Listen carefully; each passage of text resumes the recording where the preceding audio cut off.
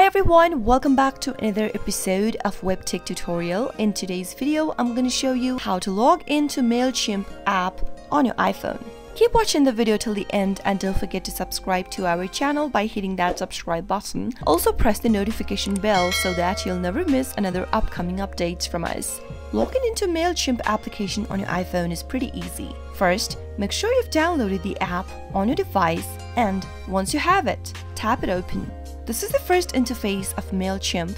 MailChimp is a marketing platform that allows you to manage and communicate with your clients, customers, and other interested parties in one place. Tap on the next button at the bottom right hand corner in order to start off with your app, and you'll end up in this page. If you don't have an account yet, you can sign up for an account free by tapping on sign up free, or if you already have one, you can tap on the login button.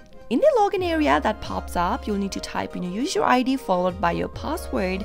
Type in your user ID in the first text box. Make sure to type in your information correct and head over to the password field. Type in your password correct as well and tap the login button. You'll need to enter the verification code that has been sent to your email address that is associated with the account.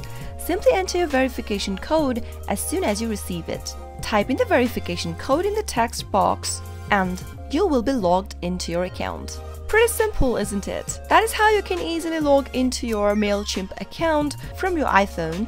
I hope the tutorial was helpful. If it was, go ahead and give us a thumbs up. I'll be back soon with more tutorial videos like this. Thanks for watching.